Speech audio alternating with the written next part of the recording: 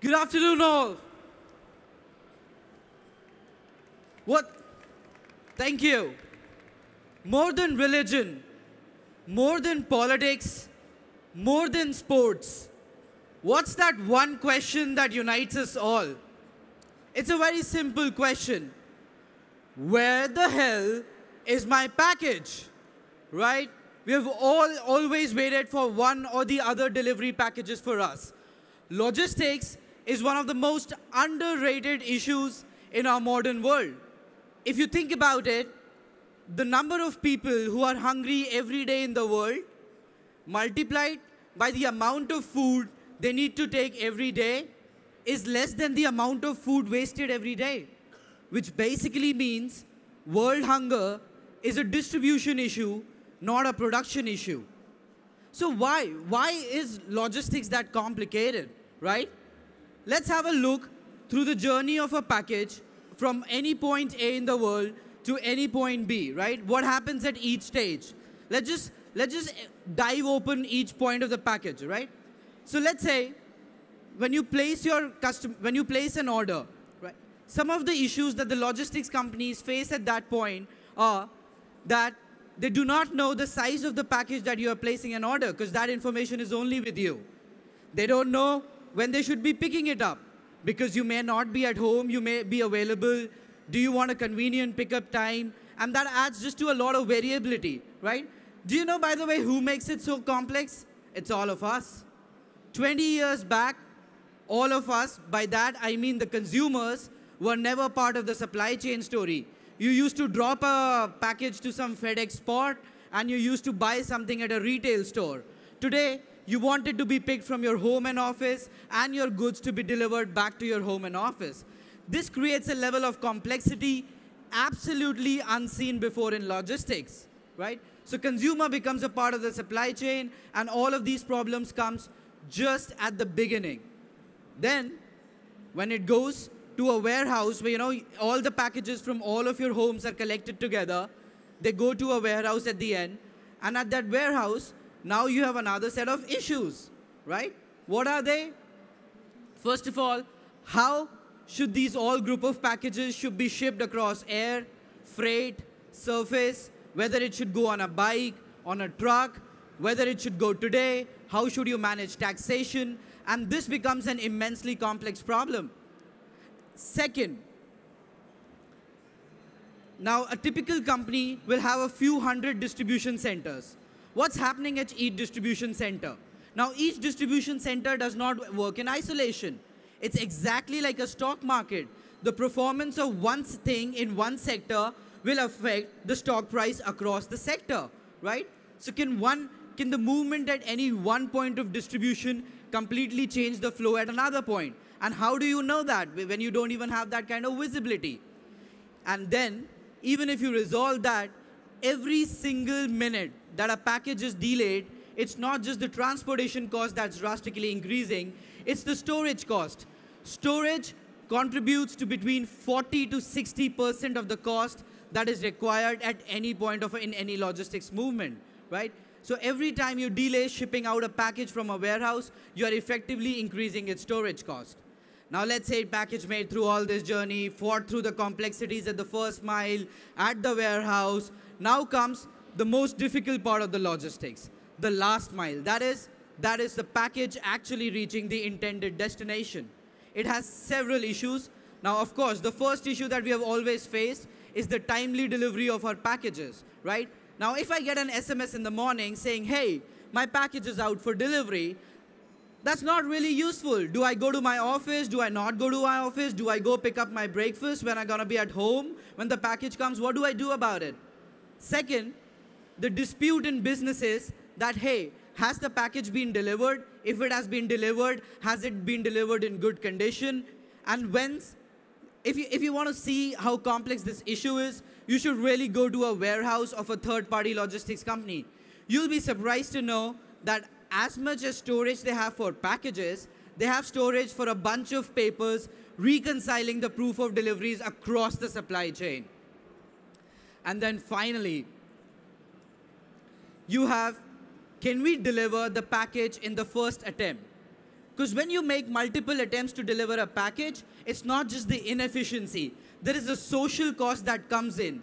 Is think about it. Is that $3 connector that you ordered from Amazon worth making three attempts to deliver at your home? The social cost of it, the pollution cost of it, the carbon footprint of it. So it's not just about the efficiency, it's about being responsible.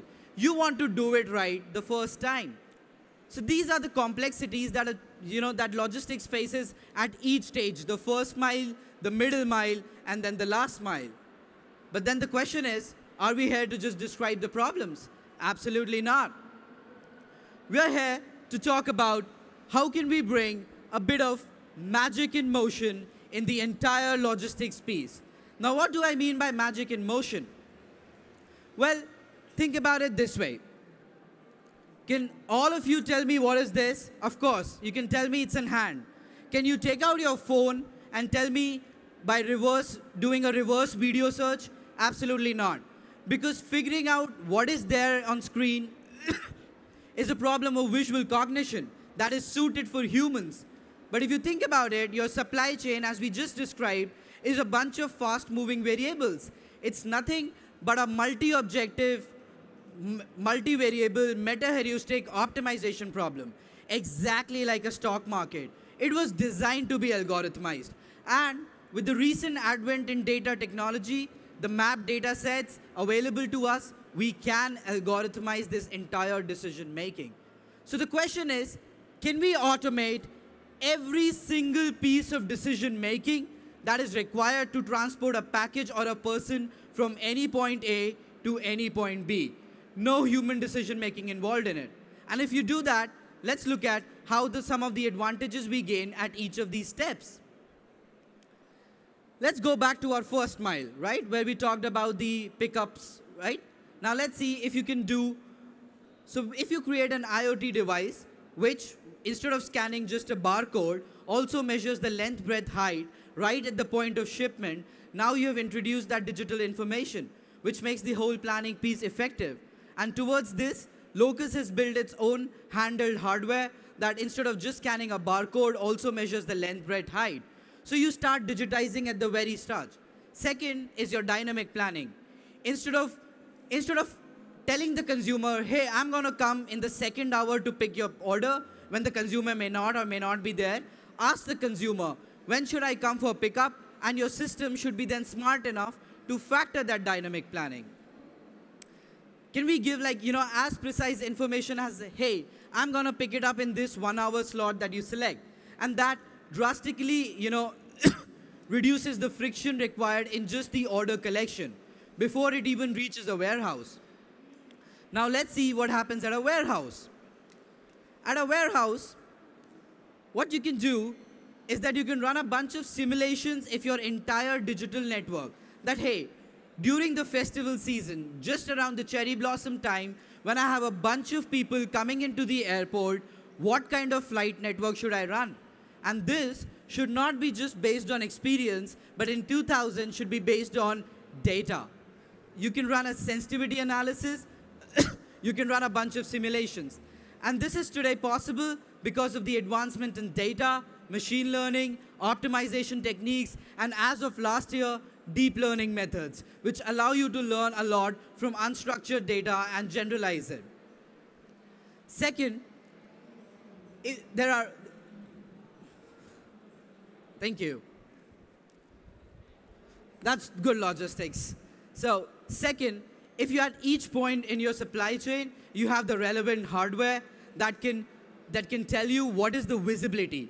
Because let's remember, yes, we want to answer the question where the truck should be, but to answer the question where the truck should be, it's very important to know where the truck is, right? So the first step to automated decision making is visibility and transparency.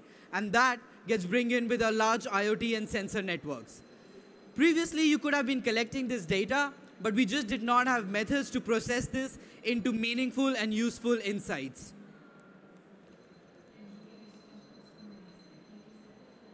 Third, cost modeling and optimization, right? Countries have double-digit percentage cost of their entire GDP as a piece of logistics. A small, a, a few basis point movement in the cost of logistics as a percentage of your GDP can change the fortunes of the company. As I mentioned, there is a first principle reason of this problem to be solved by computers. Because, as I said, all of you can recognize what is this, but can you tell me what is 2 to the power 98? No, while a $3 computer can.